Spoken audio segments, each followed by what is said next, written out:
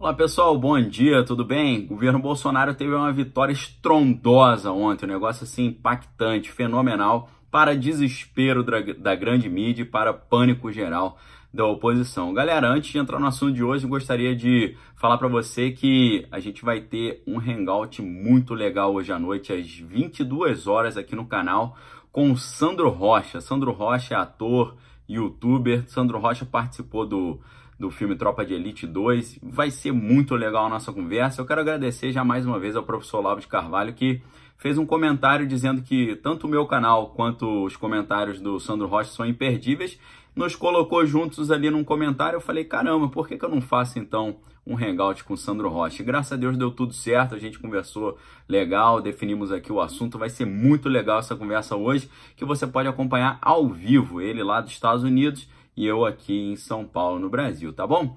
Galera, governo teve vitória maravilhosa, confirmando que eu venho falando rotineiramente, diariamente aqui no canal, que Bolsonaro sabe o que está fazendo, a equipe é de alto nível, é, Sérgio Moro muito competente, Paulo Guedes, vamos confiar, porque tá tudo certo, a mídia tá aí fazendo só crítica, você vê, a vitória é retumbante, eu já vou te, te falar qual foi essa vitória retumbante. Mas aí, olha só, no meio dessa vitória maravilhosa, eu vou te mostrar como é que o dólar reagiu, a bolsa reagiu, o que, que a mídia estava falando, só crítica. Por exemplo, o Globo estava falando assim, ó, Bolsonaro quase se esqueceu de falar da Previdência na sua live de hoje, ou seja, querendo dizer que o Bolsonaro está deixando em segundo plano a reforma da Previdência.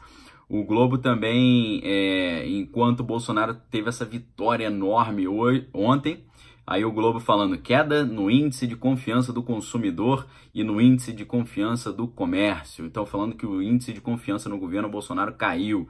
Aí falando a grande mídia falando também Flávio Bolsonaro está preocupado com a reforma da previdência. Deixa eu começar a contar as vitórias. Não foi só uma vitória, não, foram várias. E eu vou começar das menores para as maiores, tá bom?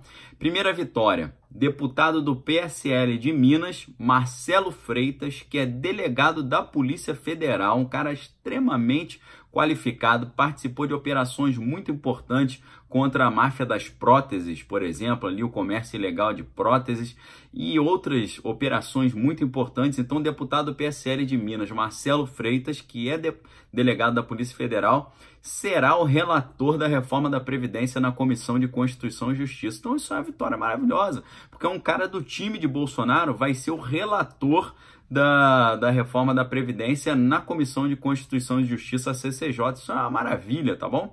E aí, o que, que aconteceu? O partido do, do presidente Bolsonaro, que é o PSL, ganhou uma queda de braço contra o Partido Novo. Estavam disputando ali com o Marcelo Freitas, o Paulo Ganimi e o Marcelo Van Hatten do Partido Novo, mas aí o governo venceu mais essa batalha. E aí, o presidente da CCJ, o, o Felipe Francischini, falou que agora os ânimos estão acalmados, ou seja, toda aquela tensão provocada pela mídia, falando, ah, é muita briga do executivo ali com o judiciário, com, perdão, com o legislativo, a briga do, do Bolsonaro com Maia não leva a nada, Bolsonaro tinha que largar o Twitter e começar a trabalhar e tal, então toda essa palhaçada caindo por terra, tá certo? Além disso, o, o presidente da CCJ na Câmara, o deputado Felipe Francischini falou que tem certeza que vai ser um relatório muito técnico. Claro, né?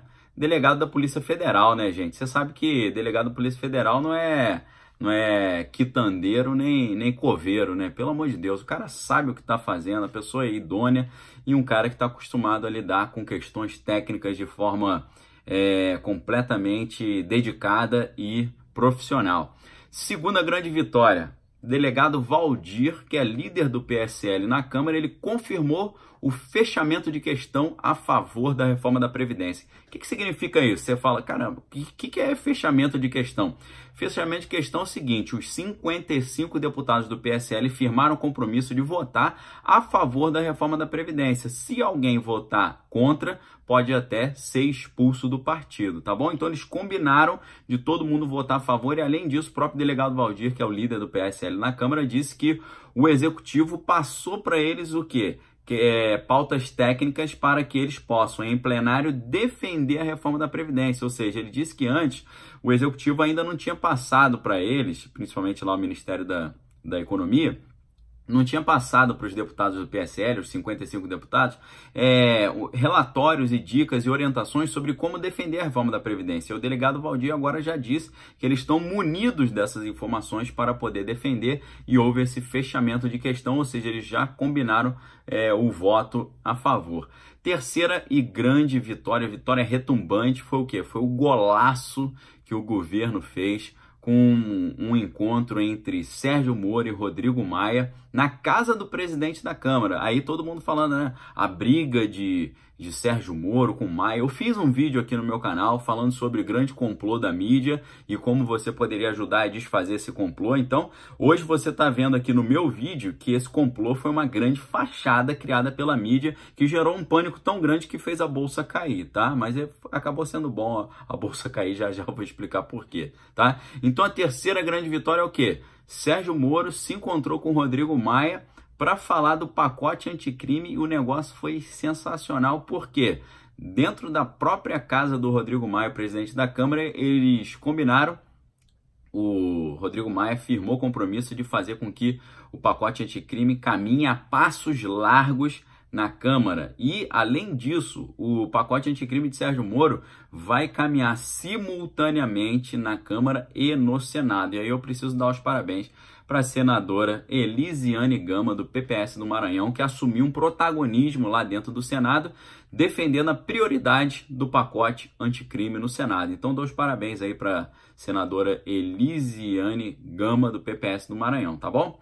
E aí o que, que aconteceu? É, com esse combinado de Sérgio Moro com Rodrigo Maia, o tempo de discussão do pacote anticrime de Sérgio Moro na comissão na, na Câmara, vai cair grande parte, deve ser reduzido provavelmente pela metade, ou seja, vai haver uma celeridade muito grande. Quem viu meu vídeo de ontem falando como aquela, aquela PEC zumbi, na verdade, estava ajudando o Bolsonaro, eu expliquei, né? Que como ela não estava na pauta e foi aprovada rapidamente, isso mostrou que quando há vontade política, a Câmara, na, na pessoa do presidente da Câmara, Rodrigo Maia, ele consegue é, votar rapidamente pautas. Então, o que, que aconteceu? Hoje, no dia seguinte daquela, daquele vídeo que eu fiz ontem falando da, da PEC zumbi, a PEC lá do orçamento impositivo, o que, que eu estou mostrando? Que o Rodrigo Maia sentiu a pressão de que se ele aprovou essa PEC zumbi rapidamente, ele poderia também aprovar o pacote anticrime rapidamente. Então, nessa conversa com o Sérgio Moro, ele assumiu o compromisso de acelerar o, esse processo e fazer todo o esforço necessário para que o texto tramite o mais rápido possível na Câmara. Então, assim, uma vitória maravilhosa, um negócio impressionante que a grande mídia, obviamente, está resistindo em divulgar na maneira que deveria divulgar, tá certo? Além disso, o próprio Rodrigo Maia ele apresentou para Sérgio Moro estratégias para agilizar essa tramitação. Eles combinaram estratégias e métodos para agilizar a tramitação do pacote anticrime, tá? Então, uma coisa, uma vitória fenomenal. Não, não uma vitória de Bolsonaro, não uma vitória do PSL, não uma vitória de Sérgio Moro, nem de Paulo Guedes, mas uma vitória da nação brasileira, que todo, todos nós sabemos precisa muito dessa reforma sair do papel. Ou seja, ao contrário do que a grande mídia estava dizendo, o executivo na pessoa de Jair Bolsonaro e seus ministros, está em total sintonia com o poder legislativo representado ali pelo presidente da Câmara, que é o Rodrigo Maia. Então, sintonia total entre o executivo e o legislativo para pânico da esquerda, para pânico da oposição, para pânico da mídia aí que é totalmente contrário e faz um jornalismo marrom, verde, azul, cor de lixo mesmo contra Bolsonaro, tá? Então, Câmara, ou seja, Legislativo e Executivo trabalhando juntos em prol de quê? Em prol dos seus interesses pessoais? Não, em prol da nação brasileira. Bolsonaro está instaurando uma nova maneira de fazer política em que você não governa mais na troca de favores nem na troca de benefícios. Você governa para representar os seus eleitores para o bem do Brasil. É isso que o Rodrigo Maia entendeu e parabéns para o Rodrigo Maia porque fez uma atacada correta jogou legal e percebeu que não tem como é, tentar resistir a essa nova forma de fazer governo. Não tem como resistir porque o, a maioria da população brasileira patrocinou isso, votando em Bolsonaro, e a maioria da população brasileira quer isso. Está de saco cheio da corrupção, está de saco cheio do, da troca de favores, do disse-me-disse -disse, e dos interesses de Brasília sendo colocados em primeiro lugar é, quando comparados com interesses do Brasil inteiro. Então, menos Brasília, mais Brasil, essa é a característica desse novo governo, tá bom? Então esse pacote, ou seja, a nova previdência e o pacote anticrime serão aprovados com toda a serenidade e a seriedade que um, duas, dois projetos desse demandam e merecem, tá? O dólar, por exemplo, vamos ver as coisas boas, né? O dólar havia passado de quatro reais com essa, esse caos aí instaurado pela, pelo pessimismo é, enviesado da grande mídia. O dólar caiu de 4 para 3,90. A bolsa que estava em franca queda fechou em intensa alta, chegou, é, chegou a passar de 3, 3 pontos de alta.